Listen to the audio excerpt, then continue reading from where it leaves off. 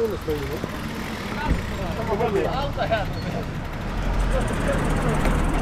Dobra, chłopie, jak ja będę wszystkie auta spuszczać w życiu, to wiesz.